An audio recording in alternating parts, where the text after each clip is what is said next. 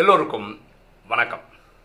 இன்னைக்கு ராஜயோக சீரீஸில் நம்ம பார்க்கக்கூடிய subject stranglers versus wranglers north central அமெரிக்காவில் வட மத்திய அமெரிக்காவில் விஸ்கான்சின் அப்படின்னு ஒரு மாநிலம் இருக்குது அதோட கேபிட்டல் வந்து மேடிசன் அங்கே ஒரு யூனிவர்சிட்டி இருக்குது யூனிவர்சிட்டி ஆஃப் விஸ்கான்சின் அது ஒரு பல்கலைக்கழகம்.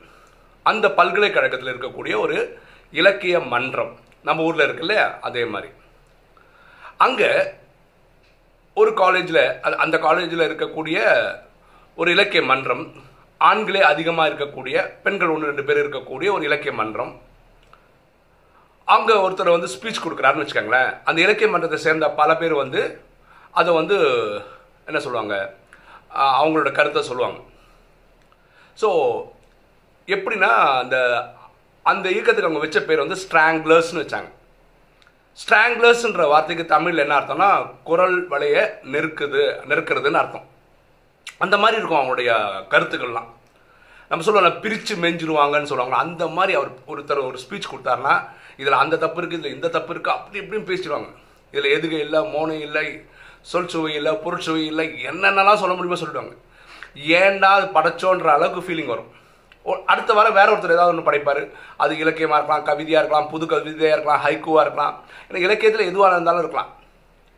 ஆனால் இவங்களோட வேலை என்னென்னா அதில் இருக்க ஒரு கிரிட்டிக்குன்ற பேரில் அதில் இருக்க குற்றத்தை மட்டுமே கண்டுபிடிச்சு சொல்கிறது அந்த ஸ்ட்ராங்லர்ஸ் குரூப்போட இது.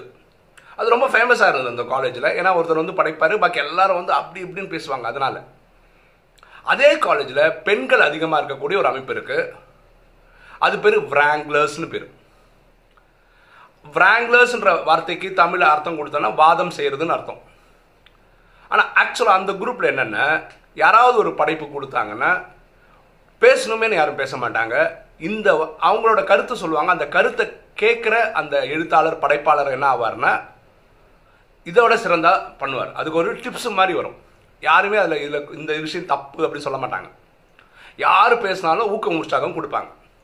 இது வந்து இந்த விராங்லர்ஸ் டீம் ஸோ ஸ்ட்ராங்லர்ஸ் டீமில் ஆண்கள் ஆதிக்கம் ஜாஸ்தி விராங்லர்ஸ் டீமில் பெண்கள் ஆதிக்கம் ஜாஸ்தி. இப்படி இருந்தது. அப்புறம் அந்த காலேஜ் முடிஞ்சோடனே அவங்கவுங்க வேலைக்கு வாழ்க்கை அப்படி போயிட்டாங்க. அப்புறம் ஒரு காலேஜ்னா அலுமினின்னு ஒன்று இருக்கும்ல. அந்த அலுமினி இருபது வருஷத்துக்கு அப்புறம் கூடினாங்க. அதில் ஒருத்தர் என்ன பண்ணார்னா இதை ஒரு ரிசர்ச்சே பண்ணி பார்த்தார்.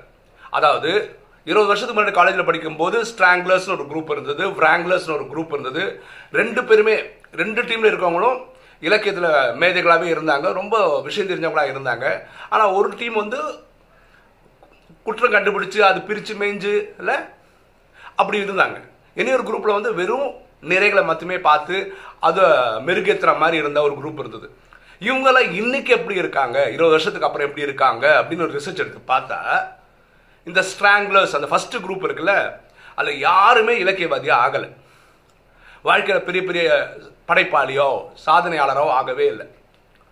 அதே இது இந்த பிராங்லர்ஸ் டீமில் இருக்கிறவங்க அவங்களாம் சொல்லக்கூடிய பேர் போன பெரிய பெரிய எழுத்தாளர்களாகவும் பெரிய பெரிய படைப்பாளியாகவும் ஆயிட்டாங்க.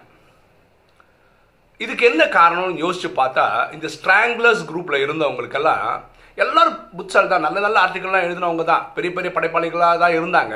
ஆனால் அவங்கக்குள்ள ஒரு சந்தேகம் இதுதான் வந்தது. செல்ஃப் டவுட் தான் வந்தது. நான் எழுதுறது கரெக்டு தானா? எப்படி எழுதி ப்ரெசென்ட் பண்ணாலும் யாருக்குமே பிடிக்கலையே? எல்லாருமே கார்னர் பண்ணுறாங்களே எல்லாருமே அது தப்பு கண்டுபிடிக்கிறாங்களே?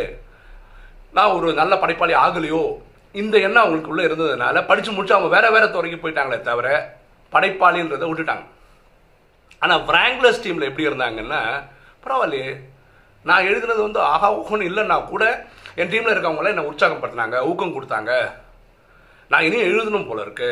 இந்த விஷயத்தை சரி பண்ணால் எனக்கு நல்லா ஆகிடும் போல இருக்கு அப்படின்னு அவங்க சொன்ன டிப்ஸை வச்சு சாதாரண ஆட்களோ பெரிய பெரிய பெரிய எழுத்தாளர்களாக ஆயிட்டாங்க. இதுதான் அந்த ரெண்டு டீமுக்குள்ள உள்ள வித்தியாசம். இருபது வருஷத்துக்கு அப்புறம் அந்த அலுமினியில் இருக்க ஒருத்தர் ரிசர்ச் பண்ணி கண்டுபிடிச்ச விஷயம்.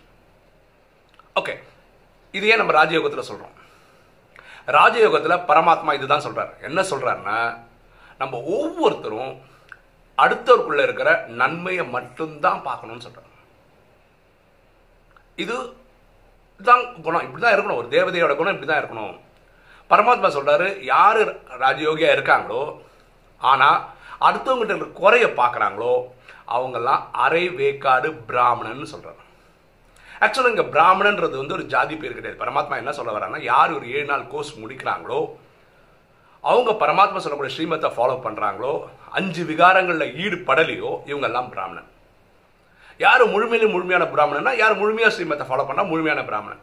யார் அடுத்தவங்களுக்குள்ள இருக்கிற நிறைய பார்க்காம குறைய மட்டும் பார்க்குறாங்களோ அவங்கள அரைவேக்காடு பிராமணன் பரமாத்மா சொல்கிறார் அப்போது காலப்போக்கில் யாரால் பெரிய சேவையெல்லாம் செய்ய முடியும்னா அடுத்தவங்களுக்குள்ள நன்மையை பார்க்குறவங்களால மட்டும்தான் பண்ண முடியும்னு பரமாத்மா சொல்கிறார் இதுக்கு இந்த காலேஜில் யூனிவர்சிட்டி ஆஃப் விஸ்கான்சனில் நடந்த ஒரு சம்பவம் ஒரு எக்ஸாம்பிள் கரெக்டா ஸோ நம்ம எப்படி இருக்கோம்னு ஒவ்வொருத்தரும் செக் பண்ணிட்டா போதும். நம்ம எல்லாருக்குள்ள இருக்கிற நன்மையை மட்டும் பார்க்குறோமா?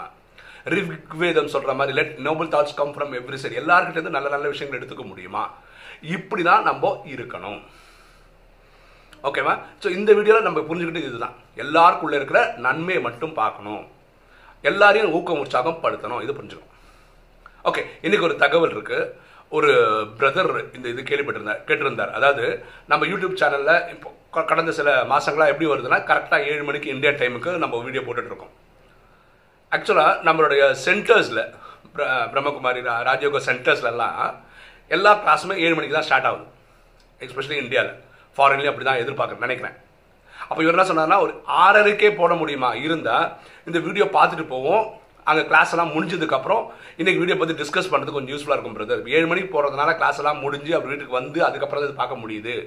ஒரு அரை மணி நேரம் முன்னாடி போட்டிங்கன்னா பார்த்துட்டு கொஞ்சம் போய் நாலேஜ் அங்கே இருக்கிறவங்களும் டிஸ்கஸ் பண்ணுறதுக்கு யூஸ்ஃபுல்லாக இருக்கும் அப்படின்னு சொன்னார்.